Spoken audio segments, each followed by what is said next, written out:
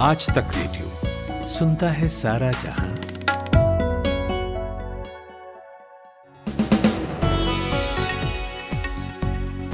नमस्कार 8 नवंबर की शाम है आज। मैं हूँ नितिन ठाकुर और आ गया हूँ रोज की तरह लेकर दिन भर नोटबंदी के आज पाँच साल पूरे हो गए हैं, लेकिन इन पाँच सालों में क्या वो मकसद पूरे हो सके, जिन्हें बताकर ये डिसीज़न मोदी सरकार ने लिया था? लखीमपुर हिंसा मामले में आज फिर सुप्रीम कोर्ट यूपी सरकार को फटकार लगाती दिखी।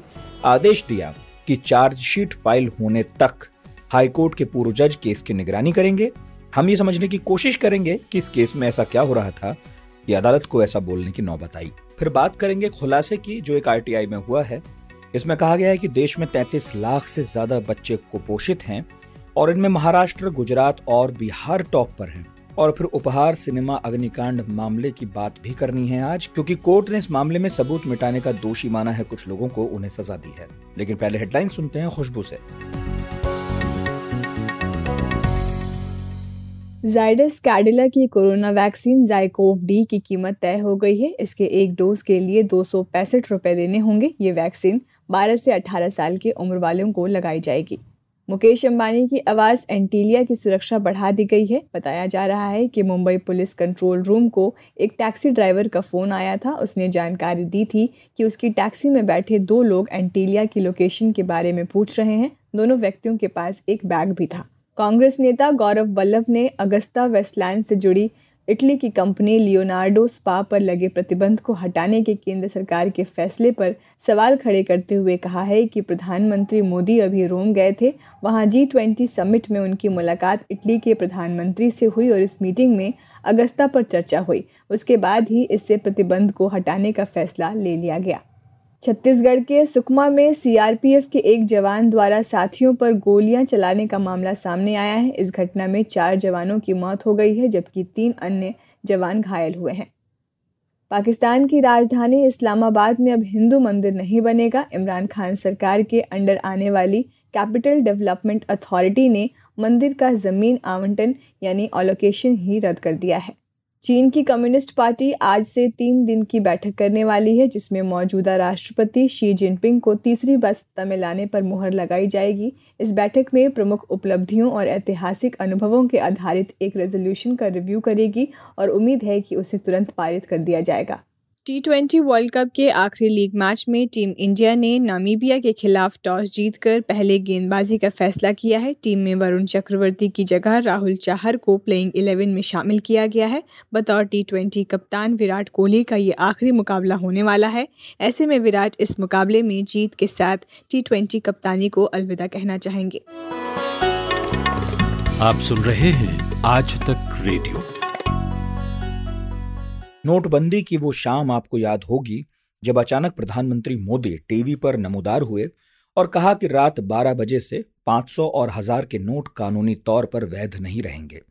पाँच साल हो गए उस बात को। आज ही के दिन यह फैसला हुआ था। तब महीनों लंबी कतारें लगी थीं नोट बदलवाने के लिए।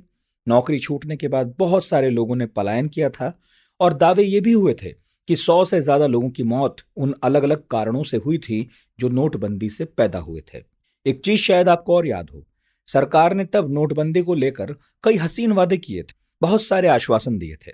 तो वो क्या वादे थे सरकार के? एक बार सुन लीजिए, फिर बात आगे बढ़ाते हैं। पहली बार देश में ऐसा हुआ ट्रेजरी बेंच भ्रष्टाचार के खिलाफ कदम उठा रही है, काले धन के खिलाफ कदम उठा रही है। जो सफलता मिली है जिस अभियान को, कोई कल्पना नहीं कर सकता है कि ऐसी सफलता मिले। जन समर्थन मिला है। और मैंने पहले दिन कहा है, पचास दिन मुश्किल है, मुश्किलें बढ़ती जाएगी। लेकिन पचास दिन के बाद मुश्किलें कम होते होते होते स्थिति नॉर्मल होने में देर नहीं लगेगी।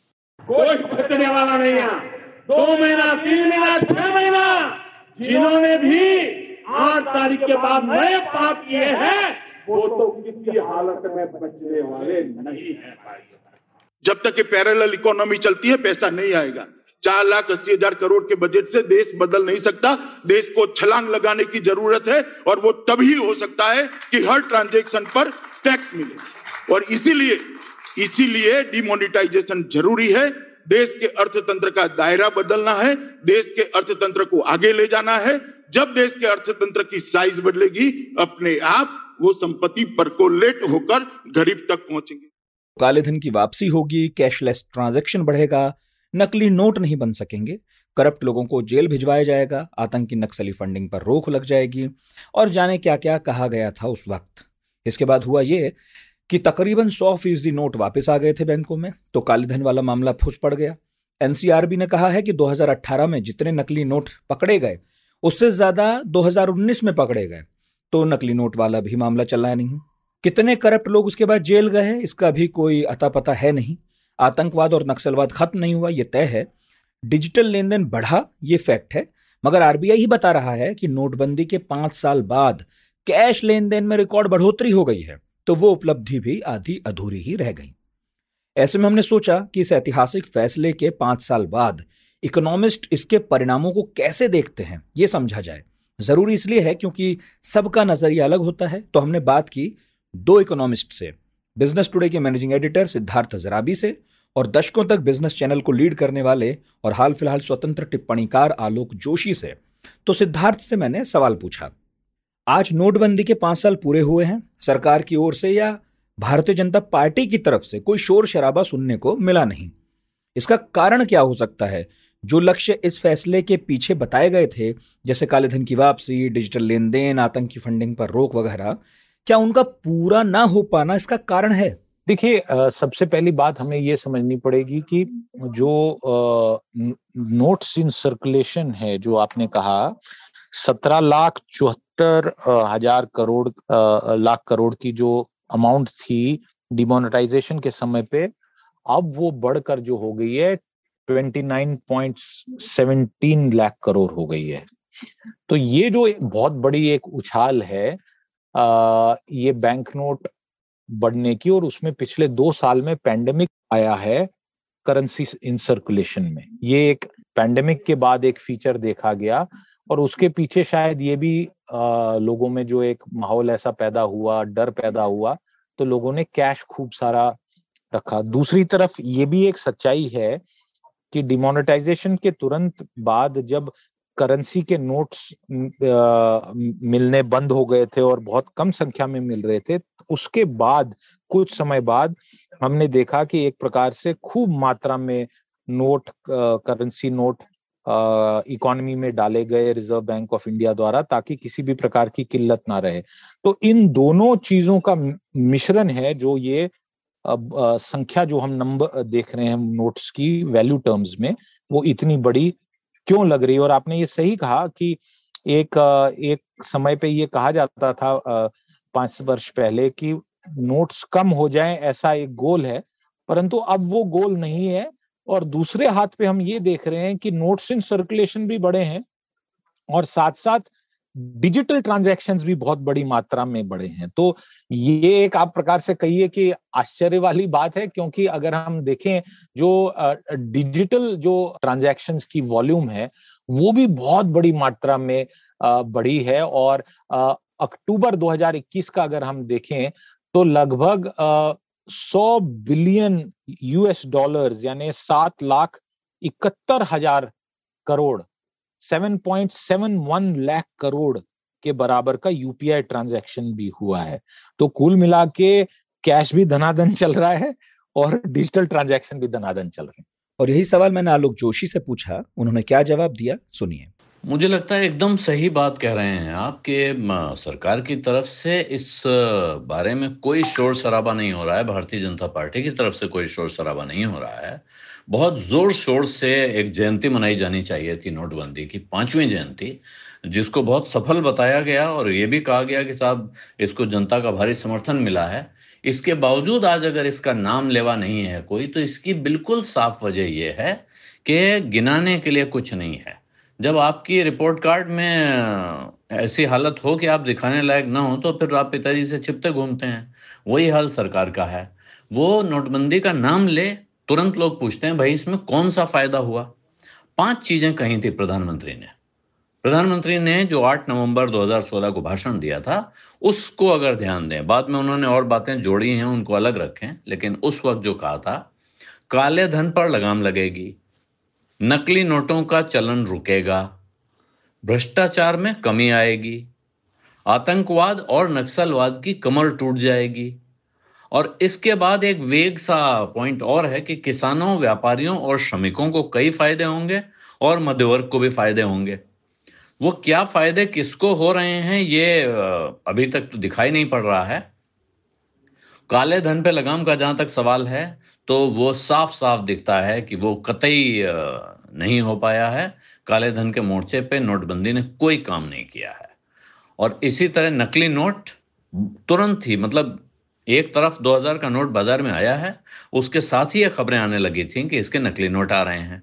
इसका मतलब है कि वो भी नहीं रुका। भ्रष्टाचार में कमी आने के बजाय भ्रष्टाचार बढ़ा हुआ है। उल्टे लोग ये जहाँ, जो भी भ्रष्टाचार जहाँ जहाँ होता है, जिन जगहों पे वहाँ से जो रिपोर्ट्स आ रही हैं, वो कहने लोग कि साहब सख्ती बढ़ी हुई है तो रेट डबल हो गया है। इसलिए हो सकता है गिनती में कम दिखे, लेकिन अमाउंट के हिसाब से देखेंगे तो बढ़ा हुआ दिखेगा। और यही सबसे बड़ी वजह है कि सरकार की तरफ़ से या पार्टी की तरफ़ से कोई शोर शराबा कोई हंगामा, नोटबंदी की पांचवी जयंती पर नहीं हो रहा है। फिर मैंने सिद्धार्थ जराबी से पूछा कि हर फैसले का कोई नतीजा आता ही है, इसके भी आए हैं? मगर देखने का नज़रिया सबका अलग हो सकता है। आप ये बताइए कि नोटबंदी के फ़ायदे या नुकसान आपकी नज़र में क्या हुए?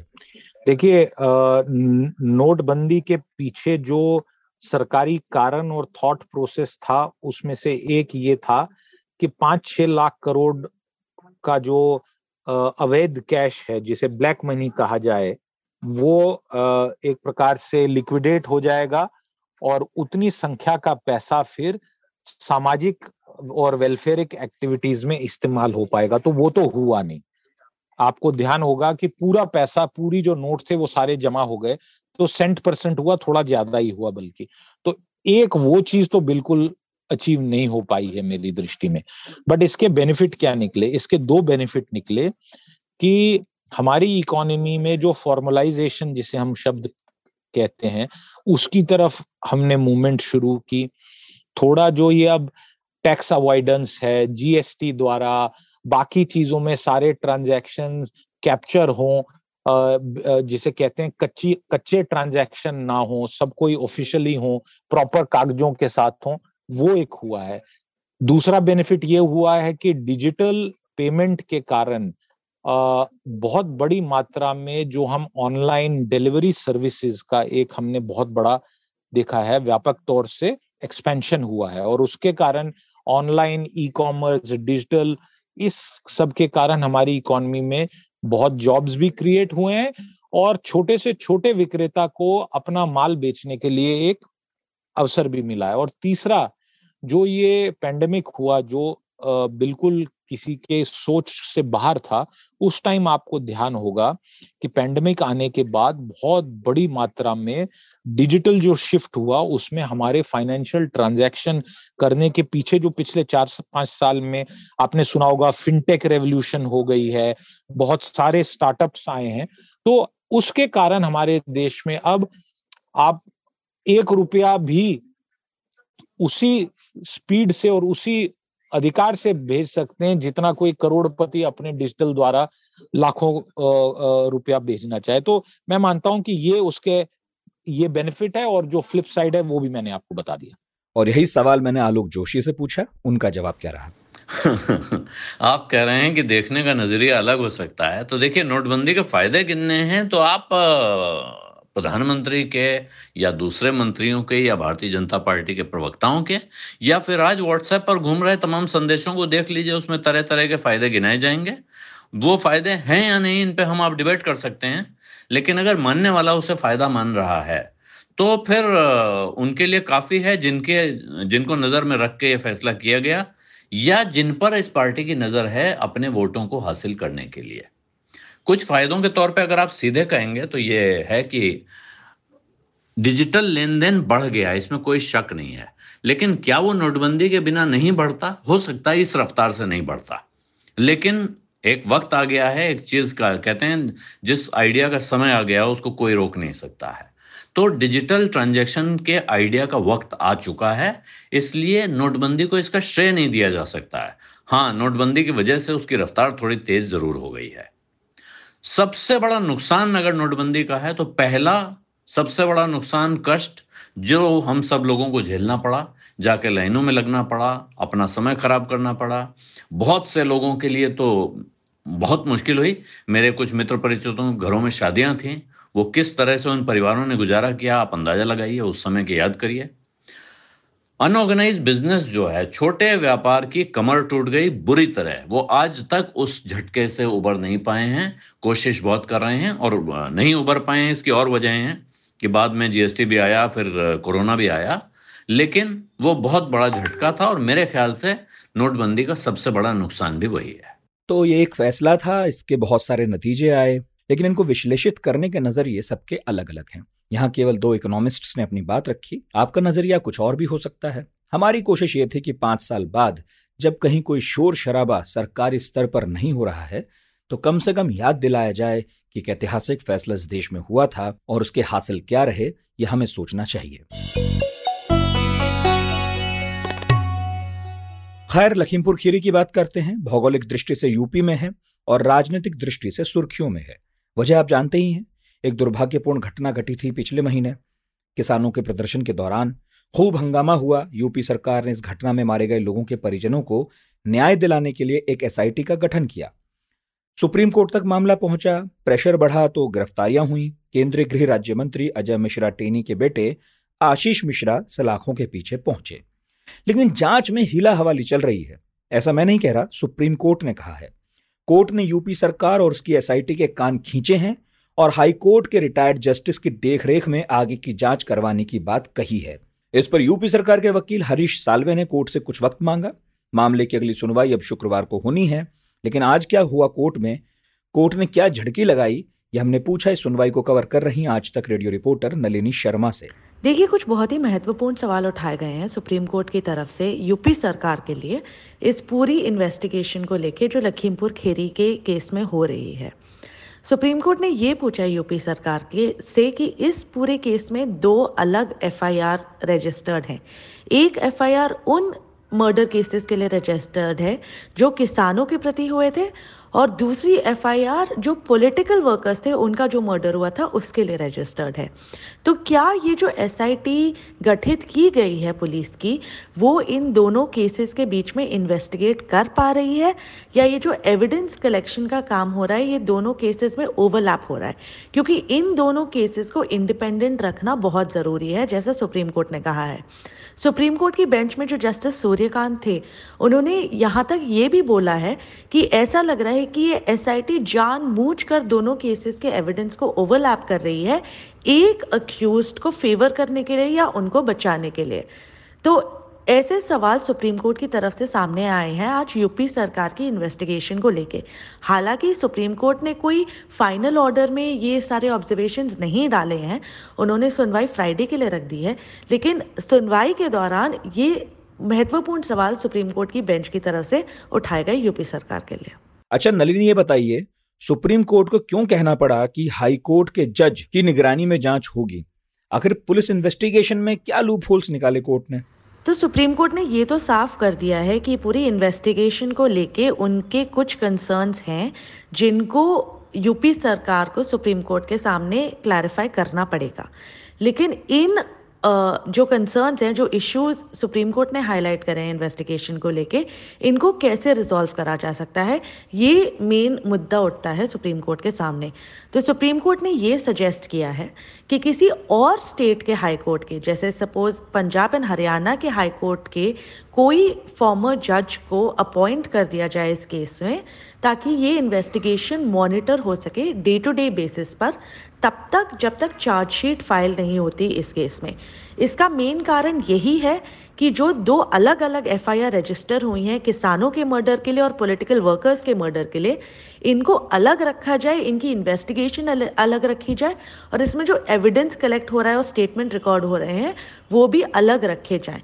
तो कोई और स्टेट के अगर जज इस इन्वेस्टिगेशन को मॉनिटर करते हैं तो वो ये देख पाएँगे कि एसआईटी अपने प्रॉपर तरीके से इन्वेस्टिगेशन कर रही है बिना किसी ओवरलैप के दो केसेस में। तो ये एक सजेशन आया है सुप्रीम कोर्ट की तरफ़ से, जो हरीश सालवी रिप्रेजेंट कर रहे थे यूपी सरकार को सुप्रीम कोर्ट के सामने।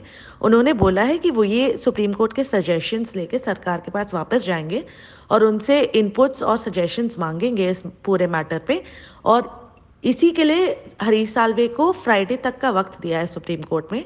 अब फ्राइडे को आगे सुनवाई होगी। और हमें ये पता चलेगा कि क्या कोई फॉर्मर हाईकोर्ट जज अपॉइंट होंगे इस पूरी इन्वेस्टिगेशन को मॉनिटर करने के लिए और एग्जैक्टली exactly क्या सुझाव आएँगे यूपी गवर्नमेंट की तरफ़ से ये मेक श्योर sure करने के लिए कि ये पूरी इन्वेस्टिगेशन एक इंडिपेंडेंट और प्रॉपर तरीके से की जाए।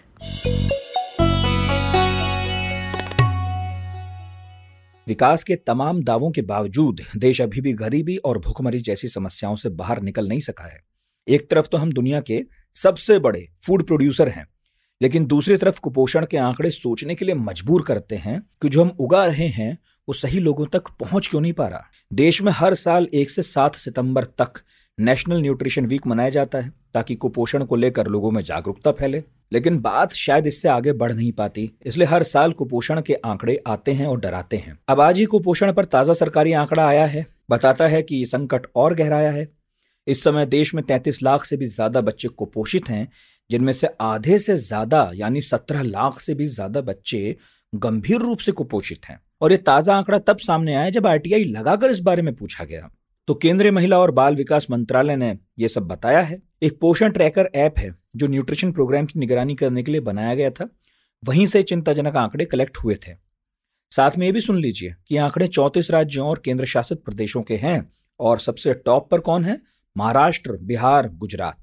इन तीन राज्यों में हालात बद से बदतर हैं कुपोषण के मामले में। यह संख्या अपने आप में चिंताजनक है, लेकिन पिछले साल नवंबर की तुलना में और ज़्यादा चिंता पैदा करता है। नवंबर 2020 से 14 अक्टूबर 2021 के बीच गंभीर रूप से कुपोषित बच्चों की संख्या में इक्यानवे परसेंट की बढ़ोतरी देखी गई है।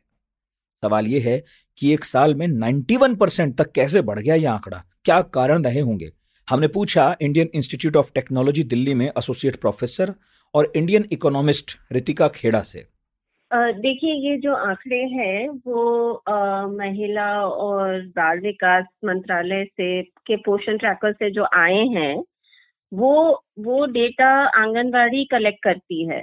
हम्म तो जो आंगनवाड़ियाँ हैं देश की वहाँ पर बच्चों का वज़न और उनकी लंबाई नापी जाती है और 2020 में जब कोविड की पहली लहर थी और लॉकडाउन हुआ तो उस समय सब आंगनवाड़ियाँ बंद कर दी गई। और ये जो काम होता था आंगनबाड़ी में, बच्चों का वज़न करना और लंबाई गिनना लंबाई नापना, वो काम भी रुक गया था। तो ये एक बात हो सकती है कि पिछले साल बहुत कम बच्चों को मॉनिटर किया गया और इस साल चूँकि कुछ कुछ जगह पे आंगनवाड़ियों की ये सारी सेवाएँ फिर से शुरू हो गई हैं तो इसलिए भी वो नंबर बढ़ा होगा। तो ये जो बड़ा है क्या बेस दोनों साल में सेम रही कि नहीं वो जाने बिना आ, कहना थोड़ा मुश्किल है क्योंकि ये ऐसा समय था जब सारी सेवाएँ डिसरप्ट हो गई थी रुक गई थी। आ, लेकिन फिर भी हमें दूसरे आंकड़ों से पता है जैसे नेशनल फैमिली हेल्थ सर्वे है वहाँ से हमें पता है कि बच्चों में कुपोषण की आ, समस्या देश में काफ़ी गंभीर है। आ, वो पूरी लंबाई उनकी प्राप्त नहीं कर पाते और वज़न भी उनका उम्र के हिसाब से कम होता है। तो ये जो आ, समस्या है कुपोषण की उसको पोषण ट्रैकर के अलावा भी हम जानते हैं कि इस पर और काम करने की ज़रूरत है। पर्टिकुलरली तीन राज्यों के टॉप पर रहना चिंता में डालता है छोटे राज्य नहीं है बड़े राज्य हैं और बहुत इंडस्ट्री भी है यहाँ पर ऐसा नहीं है कि बहुत पिछड़े ही हों। तो कैसे अचानक यहाँ पर इतना बड़ा आंकड़ा देखने को मिल रहा है? देखिए ये जो पोषण ट्रैकर से आंकड़े आए हैं वो कितना कितना कंप्लीट है और उस कंप्लीट uh, अगर नहीं होगा तो वो फिर कितना विश्वसनीय है? इन दोनों चीज़ों पे एक सवाल है। इसके इसके बावजूद ये ज़रूर है कि नेशनल फैमिली हेल्थ सर्वे में जहाँ से हमें यही आंकड़े भी मिलते हैं कुपोषण वाले उसमें ये हमें पता है कि बिहार और गुजरात में स्थिति बहुत अच्छी नहीं है। इसके अलावा मध्य प्रदेश में भी मेरे ख्याल से बहुत बुरा हाल था और महाराष्ट्र में भी वो बहुत अच्छी स्थिति नहीं है।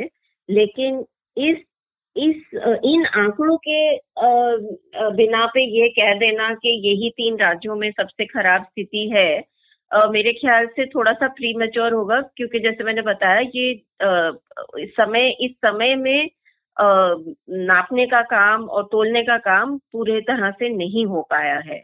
अच्छा एक आखिरी सवाल है मेरा। ये कुपोषण होता क्या है? क्या ये अनाज की कमी से होता है या कोई और कारण है? तो अगर हम कुपोषण की बात करें, इसमें बहुत सारे अलग पहलू हैं। सबसे पहले मैं ये कहूँगी कि जो डॉक्टर बाकर का हाइपोथेसिस है, जो पूरे दुनिया में बताया है कि जो बच्चे के पहले हज़ार दिन होते हैं जिनकी गिनती हम गर्भ से शुरू करेंगे। वो पहले हज़ार दिन उसको कितना अच्छा पोषण और उसकी माँ को कितना अच्छा स्वास्थ्य सुविधा मिलती है, उस पर निर्भर है। अब पोषण में केवल अनाज पे हम केंद्रित ना हो क्योंकि पोषण अच्छा पोषण अच्छे पोषण के लिए हमें हरी सब्ज़ियाँ और प्रोटीन वाली के प्रोटीन वाले खाद्य पदार्थ जैसे दाल हो गई, सोया हो गया, या अंडे हो गए, या मीट एनिमल मीट जो एनिमल प्रोटीन्स हैं, वो हमारे शरीर के लिए भी बहुत अच्छे माने जाते हैं। और दूसरा ये भी कि साथ में माँ का स्वास्थ्य क्योंकि अगर माँ स्वस्थ होगी, उसको अनीमिया, खून की कमी नहीं होगी तो उसका बच्चा भी स्वस्थ पैदा होगा, उसका जन्म के समय वज़न कम नहीं होगा। और तीसरी बात कि आपको ढंग की स्वास्थ्य सुविधाएँ मिल रही हैं कि नहीं? आपको अगर अनीमिया है तो आपको उसकी आयरन टैबलेट मिल रही है कि नहीं? और अगर बच्चे को उल्टी दस्त लग गए हैं तो क्या उसको ओआरएस की बेसिक जो सुविधाएँ हैं वो मिल पा रही हैं कि नहीं? ये तीनों का मिल मिला जुला परिणाम है कि बच्चों का वज़न उनके उम्र के हिसाब से बढ़ेगा और उनकी लंबाई भी उनकी उम्र के हिसाब से बढ़ेगी। अपार हर्ष के साथ सभी सुनने वालों को सूचित किया जाता है कि वॉइस नोट में आवाज़ में अपना रिएक्शन भेजना चाहते हैं और वो आसान भी है। बस बटन दबाइए भेजिए। तो नंबर है लिख लीजिए कि निन्यानवे पाँच सौ तैतीस दो सौ तैतीस ज़ीरो तीन। जो लोग दूरदर्शन के अभ्यस्त हैं उनके लिए मैं पढ़ दूँ इसको। नौ नौ पाँच तीन तीन दो तीन तीन शून्य तीन। गुमशुदा तलाश के लेकिन ठीक है इसमें मतलब तीन ताल का जो नंबर आपने बताया है उसमें पाँच बार तीन आया है तो याद तो बाकी पाँच ही करने हैं। हाँ। तीन तीन की भरमार है इसमें। हाँ तीन साल में तीन की भरमार होनी भी चाहिए। उन्नीस सौ सत्तानवे में तीन जून की तारीख को दिल्ली के उपहार सिनेमा हॉल में एक हादसा हुआ था। हुआ यूँ था कि सिनेमा हॉल में तब एक फ़िल्म चल रही थी जिसका नाम था बॉर्डर। उसी वक्त हॉल में आग लगी उनसठ लोगों की जान गई। हादसा इतना भयानक था कि आज भी दिल्ली के लोग क्या देश भर के लोग भूले नहीं हैं। इस मामले में सिनेमा हॉल के मालिकों पर कार्रवाई हुई, गिरफ्तारी हुई, दो साल की सजा हुई। बाद में हाईकोर्ट से सजा कम भी कराई गई। पिता और बेटे सुशील अंसल और गोपाल अंसल की सजा एक साल रह गई। अब तो ये पुरानी बात है। आज की खबर यह है कि सिनेमा हॉल के मालिकों को कोर्ट ने सबूतों से छेड़छाड़ के आरोप में दो करोड़ पच्चीस लाख का जुर्माना भरने को कहा है। उस समय जब अंसल बंधुओं की इस प्रकरण को लेकर गिरफ्तारी हुई थी तो यह आरोप लगातार लगे कि मामले में अपने जुड़ाव से पल्ला झाड़ने के लिए वो लगातार सबूतों से छेड़खानी कर रहे हैं। अब सवाल यह है कि इस मामले में पूरी सजा जो भी निर्धारित थी, अंसल बंधु ने काट ली, तीस लाख जुर्माना भी दिया। फिर ये साक्ष्यों से छेड़छाड़ का मामला क्या था, क्या कुछ हुआ था? और हमने पूछा आज तक के डेप्टी एडिटर संजय शर्मा से। इस मामले में सबूतों से छेड़छाड़ का मामला बहुत अहम था और उपहार, पीड़ित परिवार एसोसिएशन, इन लोगों ने इसको परस्यू किया था। इसमें यह था कि जो केस डायरी थी, उसमें अंसल बंधुओं ने अपने रसूख और पैसे के बल पे बहुत सारी गड़बड़ियाँ कर रखी थी। जहाँ जहाँ इनको लग रहा था, उस रजिस्टर में, जो रजिस्टर इनके जाँच रिपोर्ट का रजिस्टर था, उसमें से इन्होंने जिन पन्नों में ज़्यादा गंभीर बातें लिखी, इनके ऊपर आरोप साबित होते थे वो पन्ने फाड़ दिए गए थे और इसमें दिल्ली हाईकोर्ट के एक मुलाजिम दिनेश शर्मा, उन्होंने इनसे पैसे खा के इनसे साठ गांठ करके वो सारी चीज़ें इनको मुहैया कराई और उनमें से रजिस्टर के पन्ने फाड़ के दिए। उनको मोटी रकम मिली थी। उन्हें भी सात लाख रुपए का जुर्माना लगाया है ट्रायल कोर्ट ने।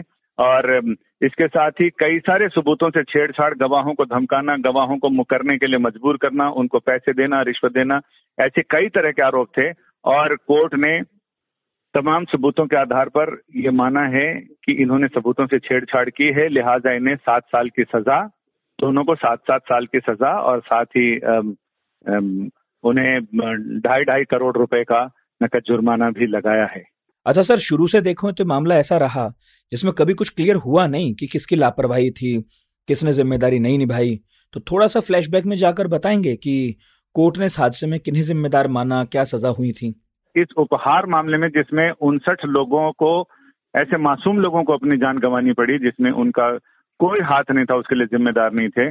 और ये अंसल बंधु जो उपहार सिनेमा हॉल के मालिक थे, जाँच के दौरान जिसमें ये आया कि बहुत सारी ऐसी अनियमितताएँ थी गैंगवे में इन्होंने आने जाने का जो रास्ता होता, वहाँ इन्होंने मोटी कमाई के लिए बीच में एक्स्ट्रा चेयर लगाकर गैंगवे का रास्ता संकरा कर दिया था, जिससे आग लगने के समय लोग भाग भी नहीं पाए।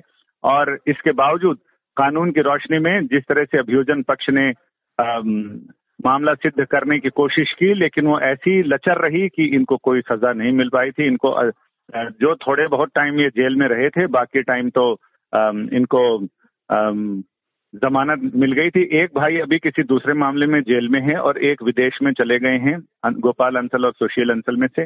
लेकिन अभी ये इसके मायने काफ़ी ज़बरदस्त हैं, क्योंकि सबूतों से छेड़छाड़ के मामले में पटियाला हाउस अदालत ने इनको दोषी माना है। और अब दिन भर को समेटने का वक्त। कल हेलो डॉक्टर का नया एपिसोड आएगा। इसमें आपको बताएँगे उन बीमारियों के बारे में जो सर्दी के मौसम में बहुत जल्दी हमें घेर लेती हैं। तो सुनिएगा ज़रूर और हमारे पॉडकास्ट कैसे लग रहे हैं, ये भी आप हमें बता सकते हैं। रेडियो एट द रेट आज तक डॉट कॉम पर मेल कर सकते हैं। व्हाट्सएप नंबर है double nine five double three two double three zero three यहाँ पर भी आप हमें वॉइस नोट भेज सकते हैं। इसके अलावा हम Spotify Google podcast Apple podcast Wink Gaana Jio Saavn पर हैं। यहाँ हमें सब्सक्राइब कर लीजिए और सारे पॉडकास्ट सुनिए, लुत्फ उठाइए। आज का दिन भर प्रोड्यूस किया है खुशबू ने साउंड मिक्सिंग की है कपिल देव सिंह ने। मेरा नाम है नितिन ठाकुर, आप सुनते रहिए आज तक रेडियो